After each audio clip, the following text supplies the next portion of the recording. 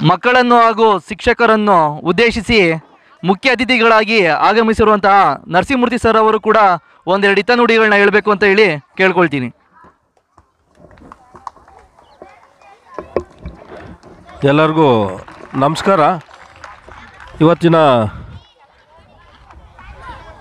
Teachers day ಇರೋದ್ರಿಂದ ಎಲ್ಲ ಟೀಚರ್ಸ್ಗೂ ಶುಭಾಶಯಗಳನ್ನ ಕೋರ್ತಾ ಇವತ್ತು ರಾಧಾಕೃಷ್ಣ ಅವ್ರನ್ನ ನೆನೆಸ್ಕೊಂಡು ಅವರ ಹುಟ್ಟಿದ ದಿನನ ನೆನೆಸ್ಕೊಂಡು ಅದ್ರ ಜೊತೆಗೆ ನಾವು ಮುಖ್ಯವಾಗಿ ಇನ್ನೊಬ್ಬರನ್ನ ನಾವು ನೆನೆಸ್ಕೊಬೇಕಾಗತ್ತೆ. ಸಾವಿತ್ರಿ ಪುಲೆ ಅಂತ ಅಂದ್ಬಿಟ್ಟು. ಹಾಂ? ಸಾವಿತ್ರಿಬಾಯಿ ಪುಲೆ. ಇನ್ನೊಬ್ಬರು ಸಾವು ಮಹಾರಾಜ್ ಅಂತ ಸಾಹು ಮಹಾರಾಜ್ ಅಂತ.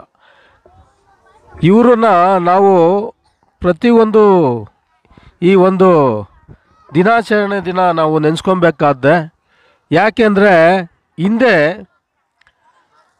ಮಕ್ಕಳಿಗೆ ಎಜುಕೇಷನ್ನು ಮಾಡಿಸ್ಬೇಕು ಅಂತ ಅಂದಾಗ ಯಾರೂ ಬಿಡ್ತಾ ಇರಲಿಲ್ಲ. ಜೊತೆಗೆ ಹೆಣ್ಮಕ್ಳಿಗಂತೂ ಹೆಣ್ಮಕ್ಳು ಓದಲೇಬಾರ್ದು, ಏ, ಹೆಣ್ಮಕ್ಳು ಶಾಲೆಗೆ ಬರಲೇಬಾರ್ದು ಅನ್ನೋ ಒಂದು ದೃಷ್ಟಿಯಿಂದ ಭಾಳ ಅವ್ರನ್ನ ತಡೆದ್ರು.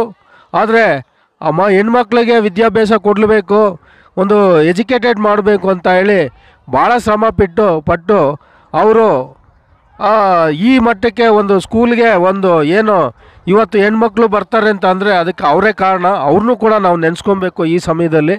ಹಂಗಾಗಿ ಅವ್ರಿಗೆ ಅವರ ನೆನಪಿನಲ್ಲಿ ನಮ್ಮ ಒಂದು ಪರಿಚಯ ನರಸಿಂಹಮೂರ್ತಿ ಅಂತ ನಾನು, ನಮ್ಮ ಒಂದು ಟೆಲಿಕಾಮ್ ಎಂಪ್ಲಾಯೀಸ್ ಹೌಸಿಂಗ್ ವೆಲ್ಫೇರ್ ಟ್ರಸ್ಟಿಂದ ನಾವು ಸಾಧ್ಯವಾದಷ್ಟು ಮಟ್ಟಿಗೆ ನಾವು ಮಕ್ಕಳಿಗೆ ಬುಕ್ಸ್ಗಳಿರ್ಬೋದು ಯೂನಿಫಾರ್ಮ್ ಇರ್ಬೋದು, ಅಥವಾ ಅವ್ರಿಗೇನು ನೆಸೆಸಿಟಿ ಇದೆಯೋ ಅದನ್ನೆಲ್ಲ ನಮ್ಮ ಸಾಧ್ಯ, ಸಾಧ್ಯವಾದ ಮಟ್ಟಿಗೆ ನಾವು ಸಹಾಯನ ಮಾಡ್ತಾ ಬಂದಿದ್ದೀವಿ ಹಾಗೆ ನಮ್ಮ ಹಸಿರು ಉಸಿರು ಅವ್ರಿಗೂ ಕೂಡ ನಾವು ಸಾಕಷ್ಟು ಸಹಕಾರನ ಕೊಟ್ಟಿದ್ದೀವಿ ಅವ್ರು ಸುಮಾರು ಒಂದು ಹತ್ತರಿಂದ ಹದಿನೈದು ಸಾವಿರ ಗಿಡಗಳನ್ನ ನೆಟ್ಟಿದ್ದಾರೆ.